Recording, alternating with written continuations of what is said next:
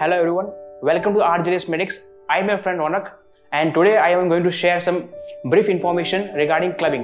So let's begin. What comes in our mind when we think of clubbing? Obviously the answer is fingers. So the clubbing is term related to the fingers.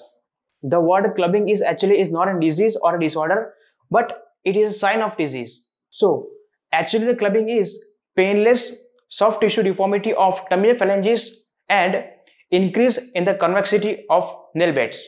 The clubbing is taking place symmetrically. That means it is taking place in both the hands or both the toes. But in rare cases, there may be unilateral clubbing is seen due to the arteriovenous distension or any AV shunt deformity. Clubbing can be acquired or congenital, but the proportion of the acquired is more compared to the congenital clubbing. Now, move on the examination of clubbing. By observing the nail plates and distal IP joint, we can get the basic idea of clubbing. Estimation of depth at the distal IP joint. This is the distal IP joint and in clubbing, there is a decrease in the depth at the distal IP joint. Or we can say like that, there is a decrease in the anterior posterior diameter at the level of distal interphalangeal joint. There will also some changes in hyponychial angle.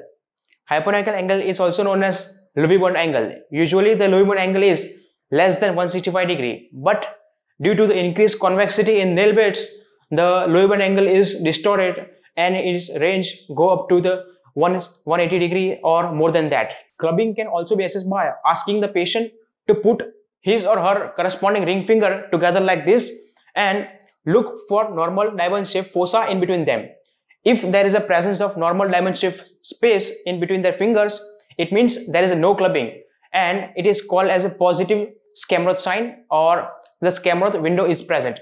In clubbing, there is an obliteration of normal diamond shaped fossa in between these two fingers.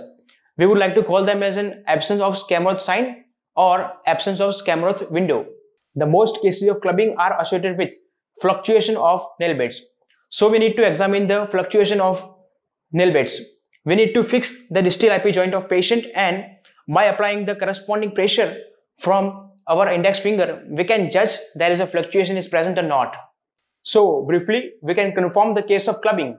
If the person is having now first increase in the thickness of the digit at the level of nail beds compared to distal interphalangeal joint. Second, the increase in the nail bed angle that is increase in the Lovibond angle. Normally it is less than 165 degree but in clubbing it may range up to 190 degrees. Number third, absence of Schamroth window. It means when a person brings his nail beds corresponding with together, there is an absence of normal diamond shaped fossa. Number 4. In most of the cases of clubbing, there is a fluctuation of nail beds is seen. Now, pathophysiology of clubbing. It may be due to the vasodilation. It means there is a proximal vascular condition may lead to clubbing and this clubbing is not symmetrical but it is a unilateral clubbing. It may be due to the certain tumors and carcinomas because these tumors and carcinomas secretes GH factor that is growth factor. Overproduction of the prostaglandin E2 by the certain tissues may lead to the clubbing. Now the causes of clubbing. The causes of clubbing are divided into congenital or acquired. The congenital is up to 5 to 10 percentage which is quite lower than acquired causes.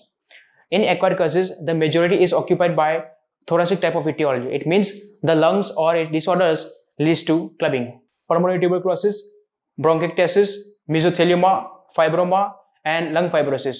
Now, in the cardiovascular etiology, in the cardiovascular etiology, the congenital causes are congenital heart anomaly may leads to the clubbing, and in acquired causes there is a infective endocarditis of heart and AV or aneurysms. In the gastrointestinal etiology, the causes of clubbing are cirrhosis, inflammatory bowel disease, and the celiac disease. Some others etiology may lead to clubbing like thyrotoxicosis or hypertrophic osteoarthropathy. Now, treatment of clubbing. Remember, clubbing itself is not a disease, but it is a sign of disease. So, clubbing is disappear if we treat the underlying cause of clubbing. Treatment is required in some rare conditions like there is a severe vasodilation or any shunt deformity. I hope you like this video and thank you for watching.